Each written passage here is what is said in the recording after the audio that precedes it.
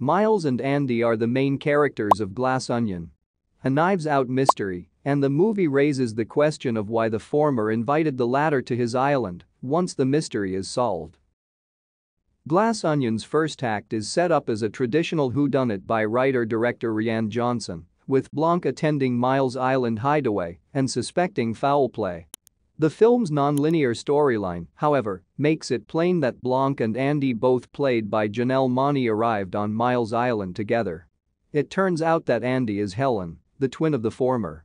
Andi was found dead days before the island getaway, with Helen suspecting one of the attendees. After telling Daniel Craig's Benoit Blanc of her suspicions, the duo travel to the island using Andi's invitation and mingle with the other invited guests. However, knowing of Andi's death and the film revealing that Miles' former Hulk actor Edward Norton was the one who killed her, the question remains as to why Andi received an invitation in the first place. Reasons why Andi could have received an invitation from Miles, there are several explanations as to why Miles would have invited Andi. The box might have been delivered prior to Miles killing his former business partner, according to one theory. First off, the film does a great job of establishing the rift between Andi and Miles as a result of the latter forcing the former out of her firm and seizing complete control. The other guests are astonished to find Andi there before disclosing that she is truly Helen. This is due to the strained connection between her and Miles. But if Miles had sent the invitation before killing Andi, that would account for her presence among the eccentric group of characters in Glass Onion. However, the choice to send Andi an invite might have been an uncharacteristically smart move on Miles Bron's part. It is implied that he normally invites Andi but doesn't expect her to arrive. If he didn't invite her after murdering her, it would demonstrate that he knew she was dead, so the invite could have been sent to cover his own tracks. While a happenstance of timing or a clever diversion might be behind Andi's glass onion invite, the invitation has been seen by some audiences as a plot hole considering Miles' later murder of Andi.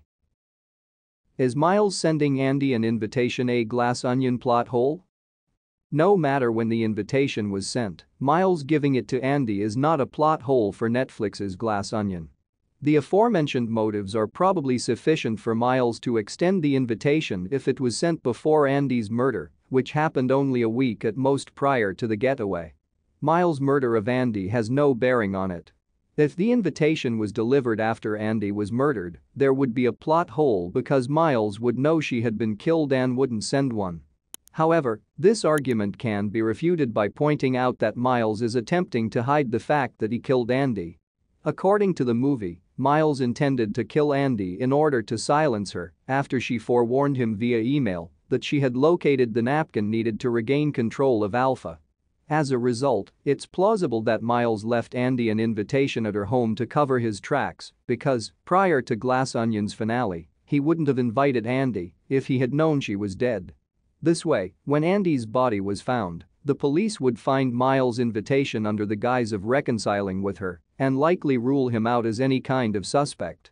Either way, Miles sending Andi an invitation in Glass Onion makes sense for various reasons.